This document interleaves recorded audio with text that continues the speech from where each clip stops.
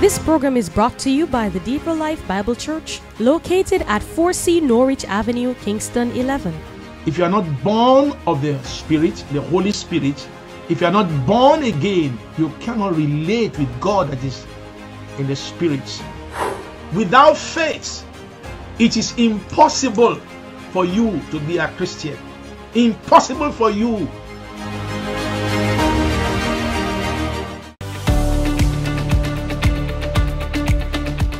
We want to extend an invitation to you if you have not yet registered to be a part of the Deeper Life Bible Reading Club. Do so as quickly as you can by going to the website at www.deeperlifeschoolofevangelism.org and look for the tab that says Bible Reading Club. Fill out the form that is there and you will have the Zoom ID and password right there. We are looking forward to share with you in our meetings.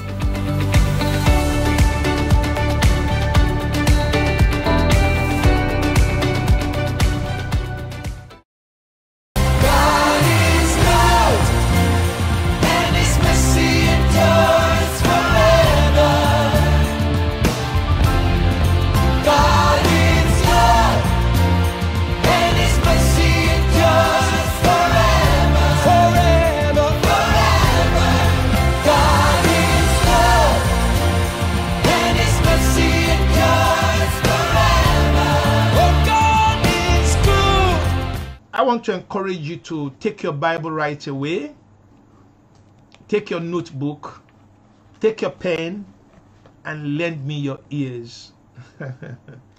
when people get sick, they go to the doctor even in the midnight. Yeah. And they can't sleep.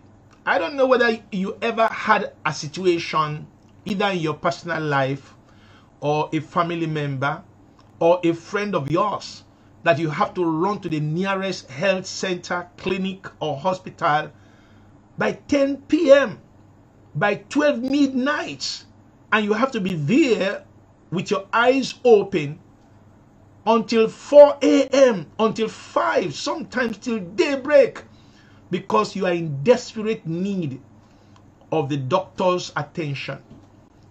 Your friend is in desperate need of healing and, um, and recovery. Maybe your wife, pregnant, is in a labor room. You can't sleep. so, how much should we be desperate when it comes to having our relationship with God cemented by the Word? Don't forget, I have always said this in all my programs, anywhere, at any time, that faith comes by hearing, and that hearing is by the word of God. Romans chapter 10, verse 17. And I say that again faith comes by hearing, and that hearing must be by the word of God. What's, as I've always asked, why do we need faith? Simple answer very scriptural. Without faith, Hebrews 11, verse 6, without faith, it is impossible to please God. Without faith, it is impossible for you to be a Christian.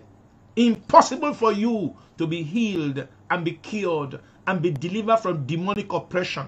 Without faith, you cannot receive the light that shines in the darkness and the darkness cannot comprehend it.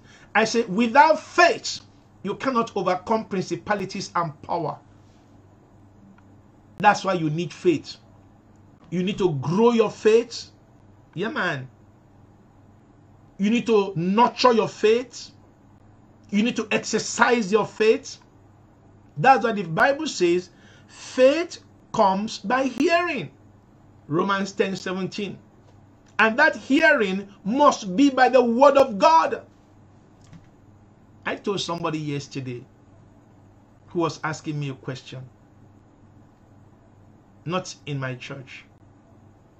I said, listen, if you see anybody praying for the sick, casting out devil, promising, uh, telling people, I will give you deliverance, and the person do not preach the word of God, be suspicious of the power he uses. Let me repeat myself, and I mean it. If you see anybody, he may be called an apostle, a prophet, an evangelist, a pastor, uh, a bishop, whatever title is given to him, and you hear everybody rushing over there, and they said, that man is America wonder. If he lay hands on you, whatever be the disease, cancer will fly away, glaucoma will go away, arthritis will go away, demon will go away. And that man don't preach the word of God to you. Before he begins to pray, be suspicious. I said, be suspicious. And we have many of them. I'm telling you, in Jamaica, in Africa, in Asia, in America, watch them. Watch them. You need to find out they are like the sons of Sceva. Act of the Apostle, chapter 19. The man who, who had evil spirits. They told the evil spirit, come out of him. And the man said, what? Why must I come out? They say, come out in the name that Jesus, you know, that Jesus, uh, Paul preached. The name of Jesus, because Paul preaches the name of Jesus. And the man said, come on. I know Jesus. I know Paul. You need to tell me who you are.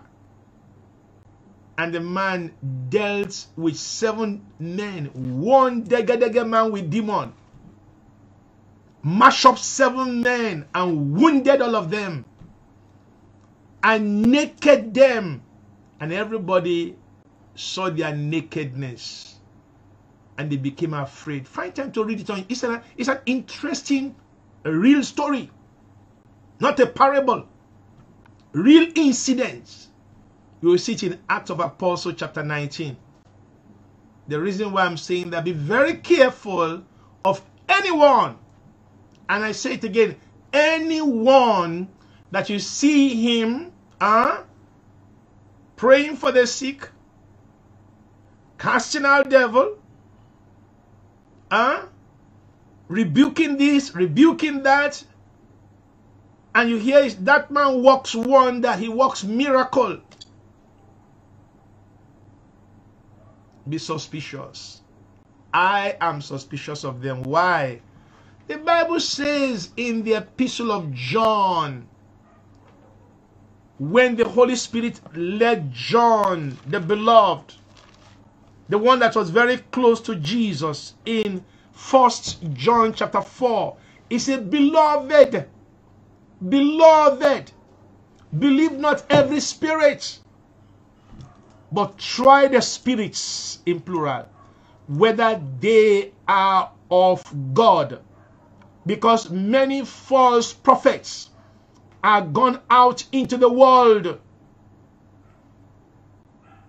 John said this. And if you go to Matthew chapter 24, Jesus himself, our Lord and Savior, he has told us to be cautious. Eh? Of the many prophets, many apostles that will come to you trying to cast out devil. Listen to me, and I'm not joking. No. Somebody comes to you and give you prophecy or tell you a dream and you can't find the connection of that dream and prophecy with the Holy Bible be suspicious of that dream. Be suspicious of that prophecy. Be suspicious of that vision. You know what I'm, of course, you know what I'm dealing with. We're talking about the gifts of the Holy Spirit. I remember quite well when I was in the college the lecturer that day was even an Anglican canon. Canon Smith. I still remember him very well. About 20 years ago, and he was telling us as students in the theological college. He said, the difference between magic and miracle is a very thin line. Did you hear that? The difference between magic and miracle is a very thin line. And if you don't see that thin line, you will attribute magic for miracle. And you may say miracle is a magic. So you need spiritual discernment to see that thin line. Welcome, welcome. Let us pray. Almighty God, we thank you for your loving kindness. We bless your holy name because you are ever present. You are a wonderful God. You are to be honored, highly to be glorified. We bless your holy name, mighty Jehovah God. Father, we bless you indeed. We honor you indeed. We glorify your holy name indeed. And Father, we pray that this evening, as we shall be sharing this bread of life, you will minister to every listener in Jamaica. Even those who are sick, feeling depressed, feeling discouraged, feeling defeated, oh God, when they hear your word this night, you will rejuvenate them, reactivate them.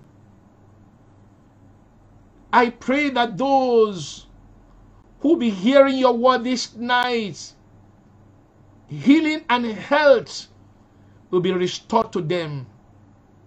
Those who are hearing this night, who are battling with sin, struggling with sin, that this night they will receive the victory and they begin to have victory over temptation to sin because your word is powerful. When David wrote in the book of Psalm, Wherewith shall a young man cleanse his ways? But by taking heed unto thy word. Thy word have I hidden in my heart, that I may not sin against thee.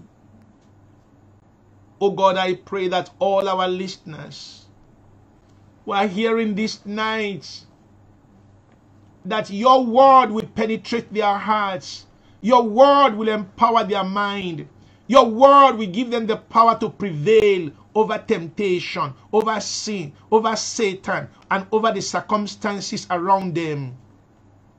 Oh God, thank you. Let this night be another night of real fellowship, drawing nearer to, to the altar, and where you, God, God and God in heaven, you are glorified. Father, one more time, I pray for those who are backsliders, who were in the kingdom. But for the lust of the flesh, or the lust of the eyes, or the pride of life, they have gone astray, Father. As many of them as to be penitent, honestly penitent, Father, receive them, restore them, and reconcile them back into the kingdom. Oh God, I pray for believers. Believers who are wavering. Father, breathe into them and give them that stability of faith, consistent walk with you, and glorify your holy name. Father, thank you. Thank you again for your mercy, for your love, for your goodness. Touch this our island of Jamaica. Heal our island of Jamaica. We must give you thanks for the improvements in the reporting of the medical department. We thank you for the reduced number of those who are dying and the infections of those who are positive.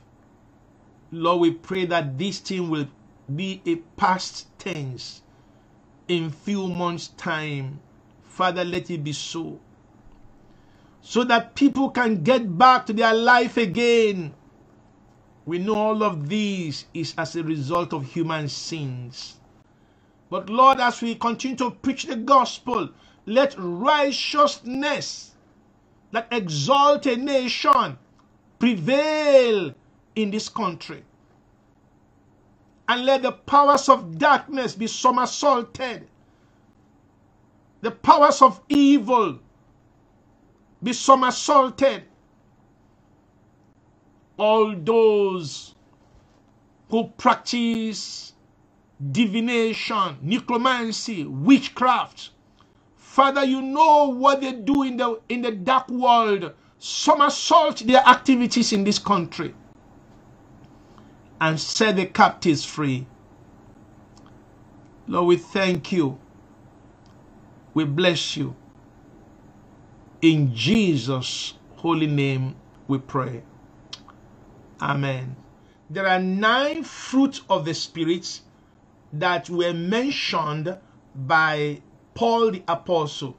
At the same time, there are nine gifts of the Spirit. But let me say, there are more than nine fruits of the Spirit. In fact, many of them, but he specifically, maybe for teaching sake and at least as a guide. So he gave us the nine fruits of the Spirit.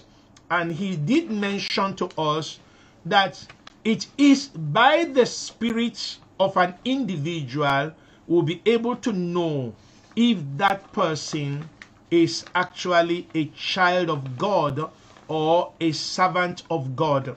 You don't know who is a child of God by the name of their denomination, the name of their church, or the or how they were baptized, when they were baptized. All of those ones are not relevant. Jesus said, Ye shall know them by their fruit. Matthew chapter 7. And also, we are told to test every spirit. Paul did mention um, in Galatians chapter 5 um, from verses 22 down to 25 that these are the evidences of connection with God. Remember what the Bible says in Second Corinthians chapter 5 verse 17 if any man be in Christ Jesus is a new creature. All things have passed away. Behold all things have become new. So when a person become genuinely born again as a result of repentance uh, renouncing the sin receiving atonement from god through the blood of jesus that was shed on the cross and the person by faith is reconciled unto god that individual is restored into relationship with God because all have sinned and come short of the glory of God. All, all. No one is born a Christian. No one is born righteous. Some person might try to convince themselves that they were born into the Christian faith, or some may even say they have been Christian from childhood. It's a lie. Nobody has been, nobody was a Christian from the mother's womb. The book of Job is very clear. Job said, All men and all mankind born by a woman, they are born with sin in their life. Yeah? And you know, some also said it.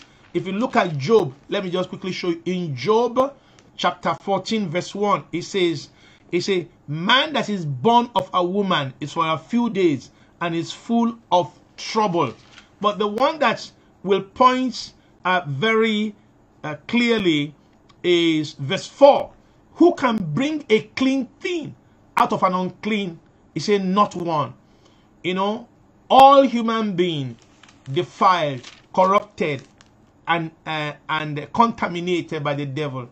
And of course, you are familiar with uh, what the book of Psalms says. Say, "In sin, eh, did my mother conceive me?" Yeah, man.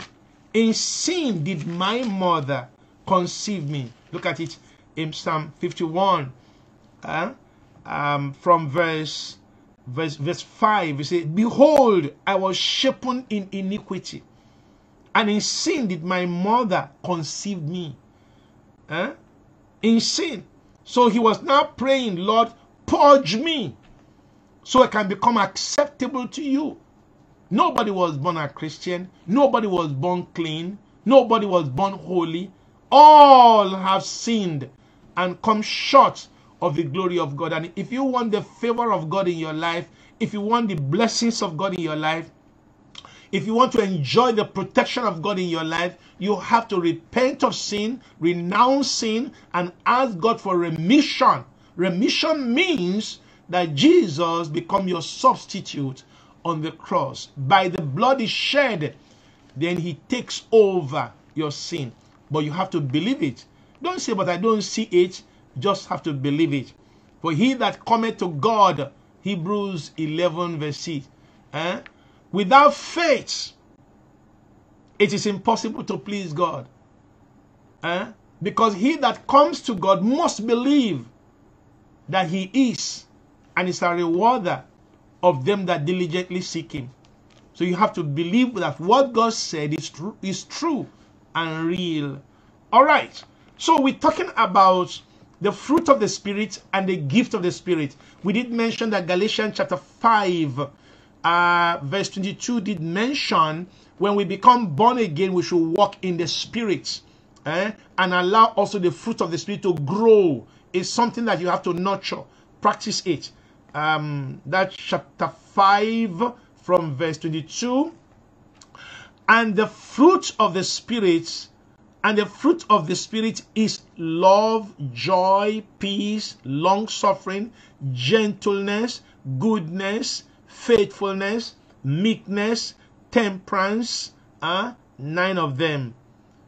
And he said, and they, in verse 24, that are in Christ, they have crucified the flesh with the affections and the lusts. And if we live in the Spirit, let us also walk in the spirit. Remember, God is a spirit, and they that worship him must worship him in spirit and in truth. John chapter 4, verse 24. Yeah? And for you to worship God in an acceptable way, pleasing way, you must be born of the spirit. John chapter 3, verses 3, 5, and 7. If you are not born of the spirit, the Holy Spirit, if you are not born again, you cannot relate with God that is in the Spirit. That's why I say worship God in spirit and in truth. So you have to be in spirit. Now, we're talking about the gift of the Holy Spirit. There is the fruit, there is the gift. Come to that First Corinthians, and then from there we quickly touch the other area. I spoke to you last week that come to First Corinthians 12, it says here, Now concerning spiritual gifts, brethren, I would not have you ignorant. In other words, don't choose to be ignorant of the gift of the Spirit.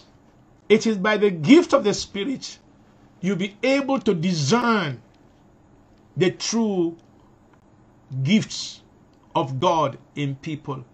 And you are able to know those who may be practicing Obeah and detect those who are using magic. Because one of the gifts of the Holy Spirit is the discerning of spirits. You discern spirits. Yeah, man. Somebody may be singing, but singing in their flesh you'll be able to know whether he's just singing to big up himself or herself, advertise herself. Huh? Somebody might be preaching and running around the whole place. It's either he's preaching for God or he's preaching for himself. And somebody may be speaking in tongues. It could just be a gimmicking of somebody else's tongue.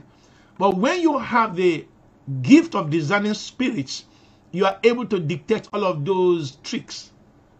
I can tell you. I pray you, you just have to ask God to give you that gift. Because He made it very clear to us here. I counted it for you last week also. Huh?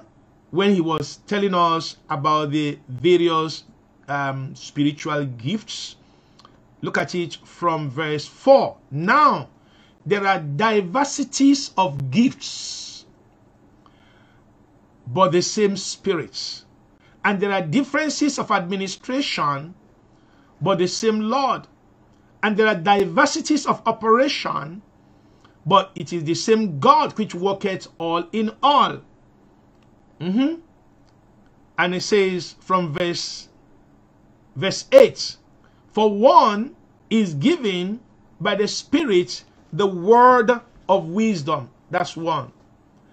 Another, the word of knowledge by the same Spirit. To another, verse 9, eh, another, faith by the same Spirit. And another, the gift of healing by the same Spirit and to another the working of miracle by the same spirit to another prophecy and to another discerning of spirits and to another diverse kinds of tongues and to another the interpretation of tongues hello here is your tonic for today with Dr. W.F. Kumuyi. You are hearing about the love of God for you. You might be the vilest of all sinners.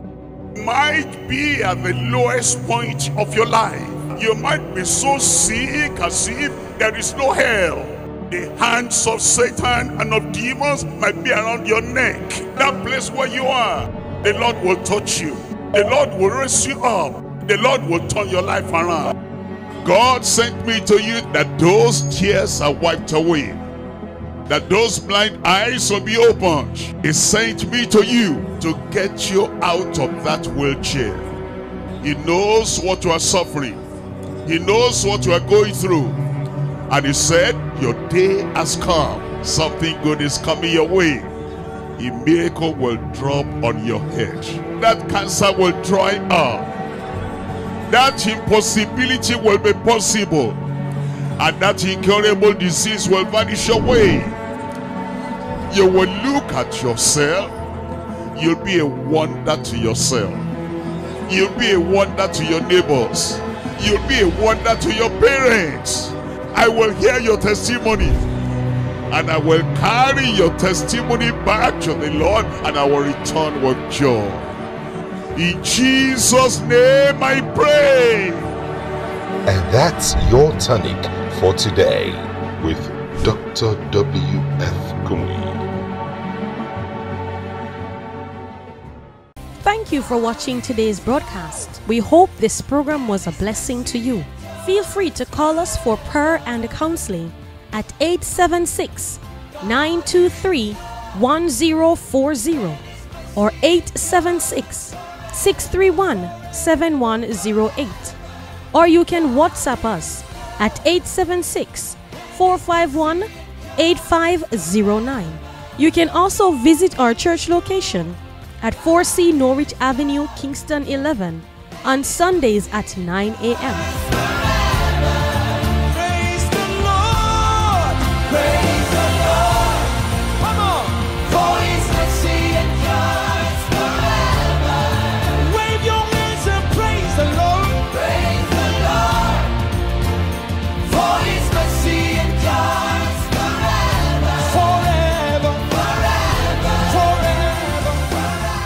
can follow us on our social media platforms for more updates and sermons. On Facebook at Deeper Life Bible Church Jamaica, on Instagram at Deeper Life Jamaica, on YouTube at Kingdom Life is Deeper Life. Join us next time for the Revival of Truth broadcast.